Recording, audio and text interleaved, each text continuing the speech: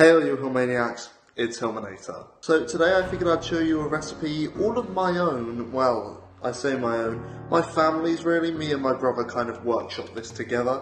We call it the Meatball Surprise. The recipe has evolved over the years and changed quite a bit, so he may actually disagree with me with some of the ingredients I'm going to put in, but regardless I'm going to show you what I did and hopefully you can enjoy it just as much as I do. There are only three essential ingredients to Meatball Surprise, and the first one is obviously pasta, because you're a student, you're to want some pasta in there. The next is surprisingly cheap to get, and that would be a can of meatballs in tomato sauce. You can get raw meatballs and make your own sauce for it, or you can just buy chopped tomatoes but personally this way is easier and it can work out cheaper sometimes. And the only other thing you'll need is cheese. Now normally I would use cheddar but I haven't been able to get a hold of any recently so I'm just going to use up the last of this Lancashire cheese which is very crumbly but hopefully should taste alright. Now as I said those three are the only things that you actually need in your meatball surprise but the rest of all this is just stuff that I add every time. It's all optional, but it's a good choice. So, I put in some mixed herbs, a tad bit of rosemary, a little bit of crushed chilies, a heck of a lot of mint, very little mixed spice. I've gone off it quite a bit, but I used to put in loads. And then I add in some more chili because why the heck not? And I always add some barbecue sauce. Though this one is a very acquired taste, most people won't use that. I know my brother has a tendency to add Worcester sauce in, so maybe try it with that once. Another great thing about this recipe is you literally only need two pans and maybe a kettle I guess, but that's more just to boil the water for the pasta, which in theory you can just do with the pan, so. While the kettle boils, I'm going to begin to prepare the meatballs. So Um,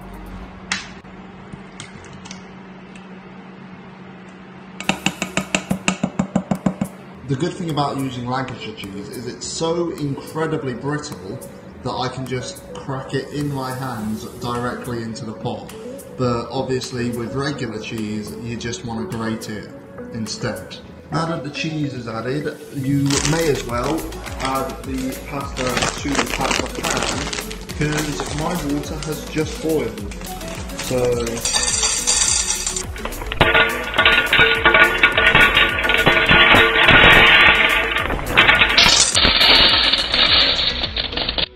Put in less than you're actually going to eat because pasta expands when you cook it.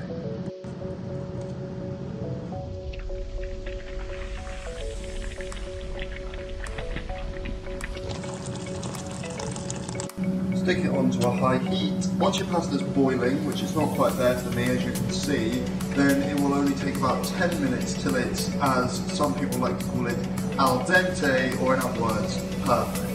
Let's get back onto the meatballs themselves.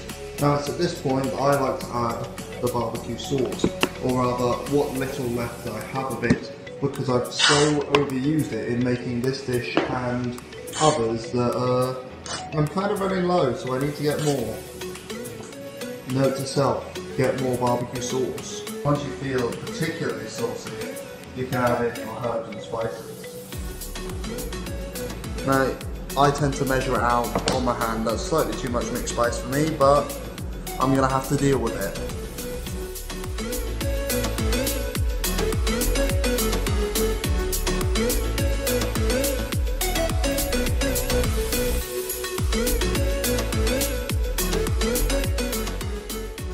I don't tend to measure chili powder out in my hands just because, well, it's chili powder. I'd rather not get it in my eye or anything else when I inevitably rub my hands into something. And the meat, which to be honest I've come to accept as an integral part of this meal, even though it wasn't originally. I, uh, I love a lot of meat. That essentially acts as an entire topping, and you may have noticed I have incredibly over-seasoned this.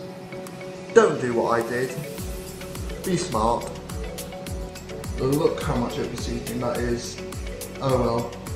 It should take about between 5 to 10 minutes for the meatballs to be done, but I always give a little extra time just so that I know that the cheese has really melted in there.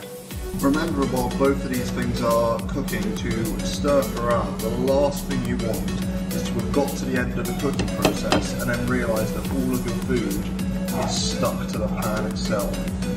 You may have noticed I'm using the same spoon for both the meatballs and the pasta.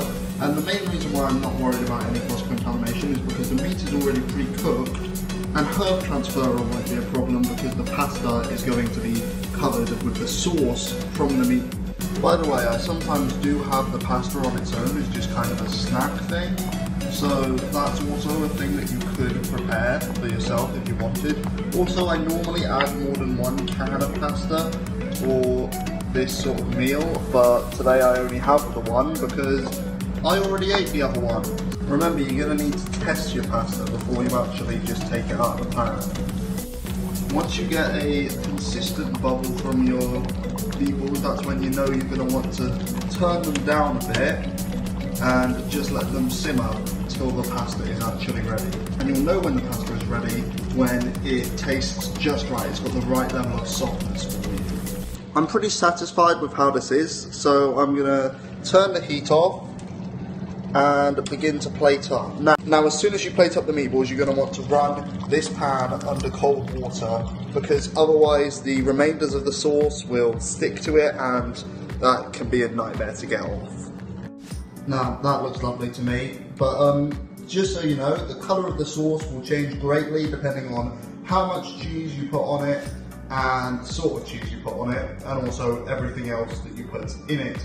If you don't put in barbecue sauce, then it's going to be a lot lighter. If you add in a whole load of cheese, then there's a chance that the tomato sauce may turn orangey. So yeah, it's always an interesting combination to see exactly how it comes out. I realise some of you may be wondering why it's called a meatball surprise. That's largely because the ingredients change in terms of what I put in there and the quantity of what I put in there almost every time, so there's no guarantee of how it's going to taste because it shifts so often.